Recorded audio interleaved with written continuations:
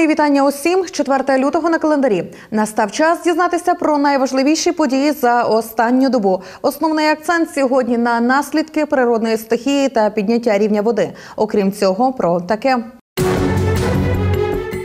Збір речей для Авдіївки, допомога постраждалим, підтоплені дворогосподарства, вода у будинках, протипаводкова програма, достукатись до Києва, нові вимоги, ультиматум пересічників, збираються об'єднатись, перспективи розвитку, як дозимувати, нічим грітися, попередити пожежу. Рятувальникам у поміч. Минулої доби російсько-окупаційні війська 115 разів вели вогонь по позиціях українських військових. Про це йдеться у повідомленні прес-центру АТО. Повідомляють про гибель трьох військових, крім того, семеро поранено.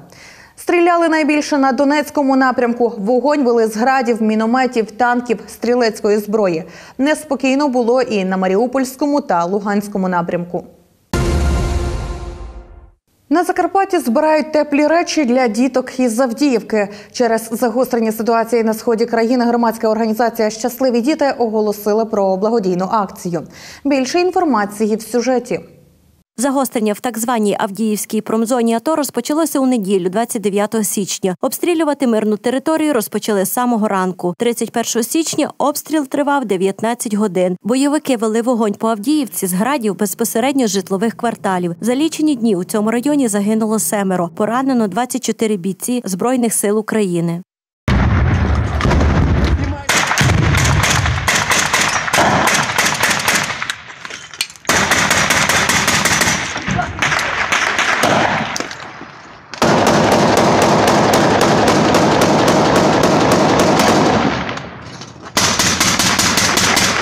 Однак від обстрілів бойовиків страждають і мирні жителі та їхні домівки. Наразі в Авдіївці немає світла, води та виникли проблеми з опаленням. Люди опинилися у безвихідній ситуації. Закарпатські волонтери спільно з обласною владою вирішили оголосити збір теплих речей та продуктів харчування для жителів, що страждають на сході країни.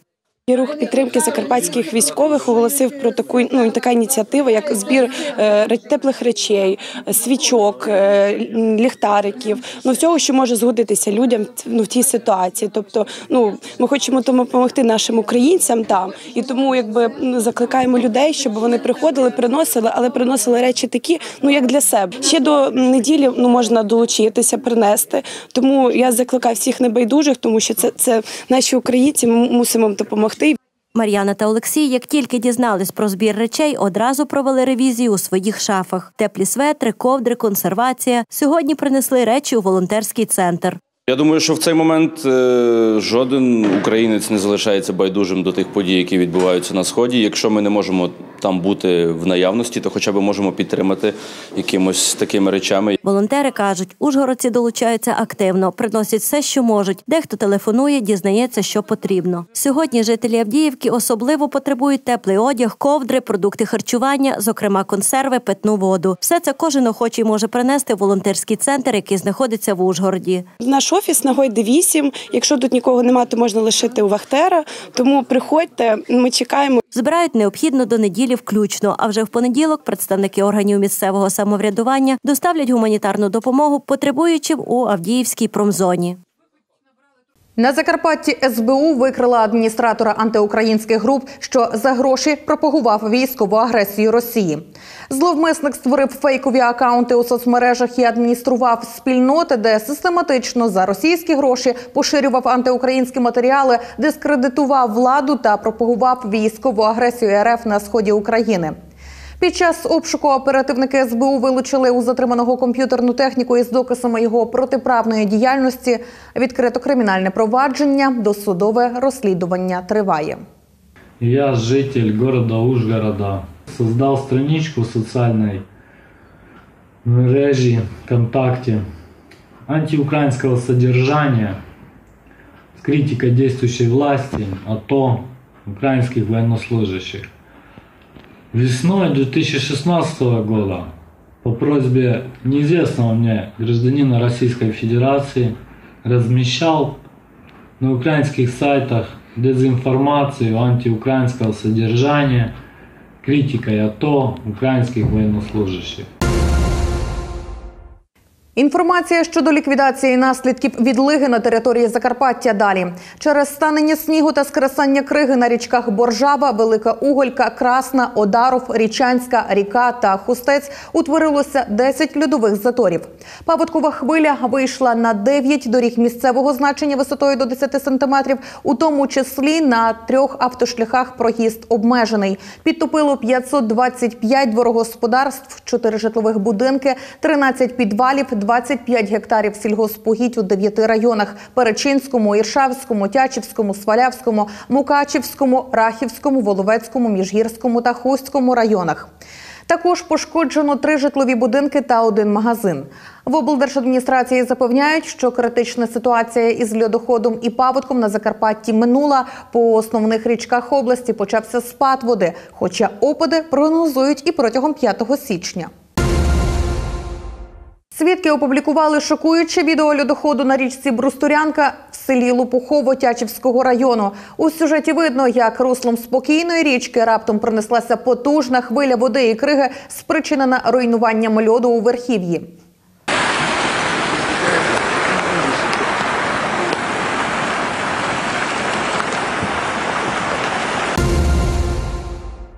Різке танення снігу та інтенсивні опади призвели до виходу із берегів річки Синявки в Віршаві. Внаслідок льодових заторів підтопило вулицю Зарічну, Мічуріна, Коцюбинського, Комарова в місті Іршава, а також близько 15 гектарів сільгоспогідь та 45 домогосподарств. Із затоплених дворів відкачували воду іршавські рятувальники. Біля гідротехнічних споруд розрили дамбу, після чого було розблоковано льодовий затор під мостом між вулицею Зарічною та райлікарнею. Найбільша проблема поки що у районі дамби на річці Синявці. Тут утворився льодовий затор на відрізку близько 100 метрів. Планують провести підривні роботи у місцях заторів. Загалом в Віршавському районі є сім місць, де зафіксовано підтоплення сільгоспогідь, приватних житлових будинків та переливи через дорогу, зокрема у селах Брід, Бронька, Довге, Сільце, Кам'янське, Луково, Приборжавське, Ростока. Мешканців одного із сіл із трьох підтоплених будинків евакуювали рятувальники. У місцях, де трапився перелив через дорогу, рух транспорту забезпечено.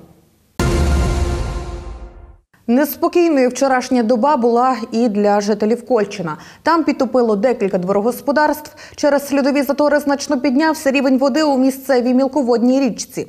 Наслідки негоди на власні очі бачив мій колега, який в наступному сюжеті розкаже про ситуацію більше. 3 лютого чимало лиха негода наробила і в СМТ Кольчино. Жителі заявляють про те, що в них підтоплені дворогосподарства.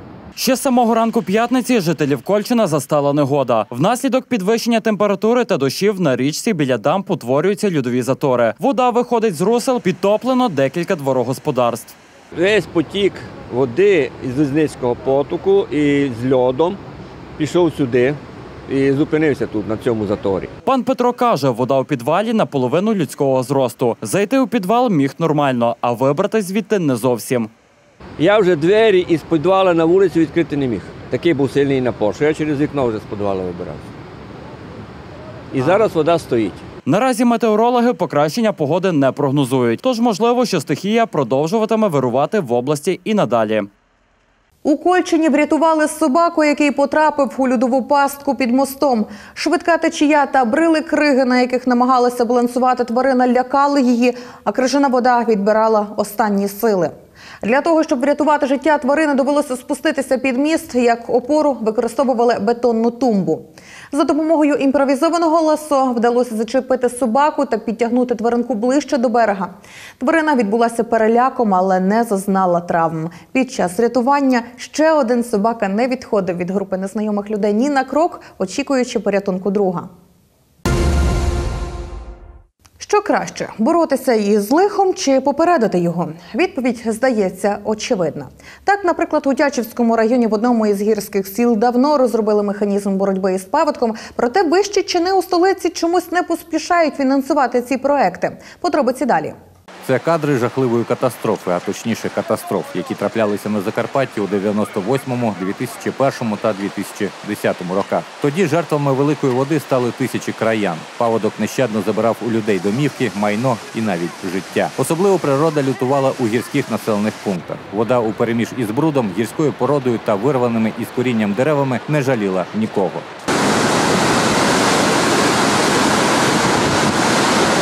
Жителям села Грузька Мокра, що в Тячівському районі, не потрібно показувати ці кадри. Страшні події минулого і досі стоять перед їхніми очима. Депутат сільської ради Іван Кузьміч особисто і неодноразово брав участь у ліквідації наслідків паводків. Рівень води піднімається дуже високий, тобто на хатах було до вікон, навіть посередину вікон, яке зараз практично все змивало, що зосталося просто випадково, що не змило. Ну, власними силами люди розтягували дерева, розчищали е, затор на мості.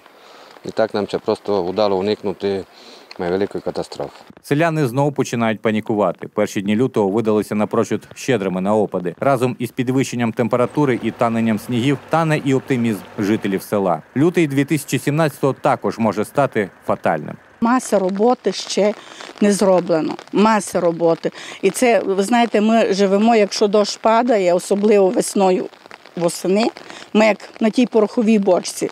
Бо боїмося, розумієте, то не один раз і не два рази було таке, що річка розливалася і розливалася таким не малим потоком. Ішло, ішла вода. За розповідями очевидців, коли рівень води у місцевій річці Мокрянці піднімається більш як на півметра, потік постійно змінює своє русло і періодично забирає не лише дороги, а й цілі дворогосподарства. Цього б можна було уникнути, якби вчасно звести необхідні берегоукріплення. Дуже треба робити регуляцію річки. І дуже в нас є проблемні міста дамби. Дамба, де підмиває постійно вулицю, нема після сполучення транспортного. Ну, це треба, що в першу чергу робити. Та як завжди існує злощасне але на цей раз це кошти, які на думку сільського голови Грузької мокрої в Києва є, але у глибинку вони чомусь не доходять. Попри те, що всі необхідні документи для цього існують. Є така інформація, що в екологічних е, в Міністерстві екології лежать е, купа коштів, е, які якоби пообіцяли на ці підпірні стінки, вони можуть бути використані, але на превеликий жаль, я знаю, недавно вернулися з нічим. У депутатів села складається враження, що столичним чиновникам вигідніше боротися із наслідками стихії, аніж попереджувати їх. Та якби б справа була лише в матеріальних цінностях, адже вже багато років протипаводкові програми не фінансуються. Не слід забувати про людські життя, які піддаються небезпеці кожного разу, коли випадає значна кількість опадів. Ультиматум пересічників. Власники автівок іноземної реєстрації вкотре звертають увагу на свою проблему. На прес-конференції вони відверто заявили про свої нові вимоги. Минулого року проблемним залишався строк перебування цих машин в Україні. Сьогодні ж головна вимога скасувати обмеження у законі 5562. Про все докладно у наступному сюжеті. Тільки на Закарпатті станом на минулий рік нараховують до 70% машин з іноземною реєстрацією. За офіційними даними в Україні таких транзитних авто до 120 тисяч. З них 12 тисяч перебувають на території України з порушенням митних правил. Це так звані пересічники. Ще понад півмільйона реєстровані на резидента. Основною причиною таких високих показників є відчутна різниця у ціні між українськими та закордонними автівками. І як наслідок держава недоотримує чималі кошти. У цьому впевнені й самі власники таких автівок. кошти, які мали би надійти в нашу казну за розмитнення, за дорожній збір з палива. Е, Тому в результаті ми маємо погану, погану дорожню інфраструктуру, тому що за ці гроші би ремонтувалися і будувалися нові дороги. Також наслідок є е, збільшення автомобілів кримінального характеру. Це автомобілі-двійники, автомобілі з перебитими номерами кузова. Щоб домогтися хоч якоїсь реакції від влади, так звані пересічники неодноразово влаштовували акції непокори на українських кордонах. Востаннє захід набув всеукраїнського масштабу. Однак питання пересічки досі не врегульоване. Почали робити різні законопроекти, які нікому не потрібні про ці 200-300 євро про сплату, які є, на нашу думку, утопічні і корупційні, тому що ніхто це не буде робити. У листопаді місяці була примінена до нас е, сила, щоб не пустити ви- е, на цей маленький круг, щоб нам повністю закрити. Натомість виганяють або в Словаччину, або в Угорщину, де е, люди питаються розвернутися, да, їх ще, крім того, ще й штрафують. Але якщо раніше активісти вимагали продовжити термін перебування іноземних авто, то сьогодні вони змінили свою думку. Як вони ж зауважують, це не вирішує проблему, адже чимало коштів іде на приховані платежі. Е, власнику даного автомобіля, тобто водію, йому все одно потрібно підтримувати той автомобіль, щоб він е, він був підходив під стандарти тієї держави. Страховку він має обов'язково проходити щорічний технічний огляд. І як мінімум раз в рік він все одно змушений виїжджати за кордон. Відповідно, йому потрібно мати візу. Як вихід із ситуації вважають ухвалення законопроекту 5562, але без тих обмежень, які були прийняті у 2010 році. На початковій стадії це був чудовий законопроект, який дозволяв ну, фактично е, кожному громадянину е, завести автомобіль. Зараз е, е, на виході це получився законопроект з обмеженнями. Це обмеження року, це обмеження кількості автомобілів, це обмеження відчуження, що дуже важливо. Щоб розмитнити автівку, активісти готові сплатити в бюджет разово 30% вартості авто. Наразі мито складає 300%. Вимагають також скасувати стандарт Євро 5 для вживаних автомобілів, що на їхню думку є абсурдним. Натомість пропонують залишити цей стандарт лише для нових машин. Разом з тим готові підтримати техогляд авто та обмежити їх імпорт з країни-агресора. На трьох реорганізованих факультетах УЖНУ нові ВО деканів. Відповідні розпорядження про призначення підписав ректор Ужгородського національного університету Володимир Смоланка. За його наказом, виконувачем обов'язків декана факультету міжнародних економічних відносин із 2 лютого призначено доктора політичних наук, професора Миколу Палінчика, факультету історії та міжнародних відносин доктора історичних наук професора Івана Вовканича. А на посаду ВО декана факультету здоров'я та фізичного виховання завідувача кафедри громадського здоров'я, доктора медичних наук, доцента Івана Миронюка. Децентралізаційний марафон, ініційований Асоціацією міст України, вже більше року проходить в країні. Закарпаття в ньому пасе задніх лише у двох районах на сьогодні утворені об'єднані громади. На Рахівщині до реалізації адміністративної реформи також далеко. Практично у всіх варіантах проекту перспективного плану на Рахівщині відповідно до методики передбачалось утворення трьох об'єднаних територіальних громад із центрами в місті Рахів, селищах Великий Бичків та Ясіня. У Великому Бичкові врахували запропонований державою варіант і взялися за його реалізацію. У Великобичківській громаді е, повинно би об'єднатися 9 населених пунктів відповідно до перспективного плану об'єднання е, Великобичківської селищної об'єднаної територіальної громади, а саме такі як Великий Бичків, Верхнє Водяне, Стримба, Водиця, Плаюц, Луг, Росішка, Кобилецька поляна та Косівська поляна. Насамперед, ідея об'єднання, за словами заступника селищного голови, вабить колосальними коштами, які надходитимуть на розвиток громади, адже з'явиться можливість вирішити актуальні проблеми з ремонтом доріг, шкіл, садків та інших необхідних об'єктів.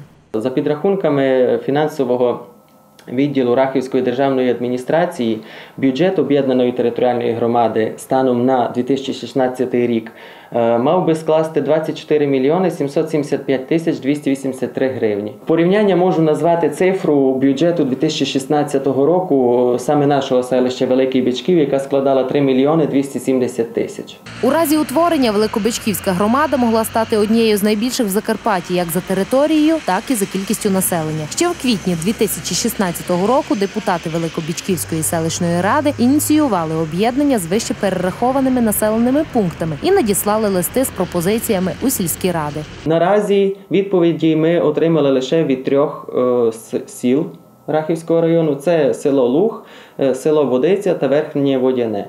Одні, в свою чергу, відтермінували питання об'єднання, другі утрималися від прийняття рішення, е, треті відмовили і запропонували своє бачення об'єднаної територіальної громади. Наразі процес децентралізації у селищі фактично припинений. У Великому Бичкові, як і в більшості населених пунктах, обрали тактику очікування. Спробували утворити ОТГ, не вийшло. Тепер своє слово має сказати держава. Адже фактично адміністративна реформа на Закарпатті на 100% не реалізована в жодному районі. Збираються створити об'єднану громаду і на Ужгородщині із центром у селищі Середнє. Деталі у сюжеті.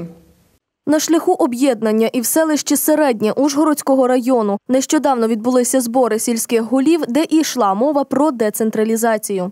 В січні місяці е, запросили на круглий стіл е, колег із е, сусідніх сільських рад, де обговорили питання об'єднання.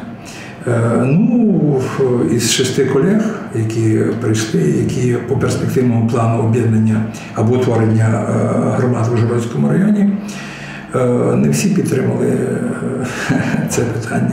Ті села, де ну я може грубо скажу, що вони депресивні, але де слабий, де взагалі немає ніякого розвитку, мається на увазі ні агропромислового сектору, ні промисловості, нічого. Ну є 800 е, хат чи 700 і, і більше нічого. І люди живуть, працюють в місті чи там е, десь е, на будівництві у, ну, по різним галузям е, народного господарства. Ті якраз би хотіли об'єднуватися. Тут планують об'єднати 18 сільських рад в єдину територіальну громаду з центром у селищі міського типу Середнє. Рівнянщина буде нараховувати 18 населених пунктів, це так як Перечинський район, мабуть. Це Русько-Комарівська сільська рада, е, Худівська е, сільська рада, яка об'єднує 5 сіл, Русько-Комарівська 3 села. Це Кіблярівська, яка об'єднує 3 села. Це Пацканьово, е, гірське село. Це Ірлявська сільська рада, яка об'єднує 3 села. Дубрівка недалеко.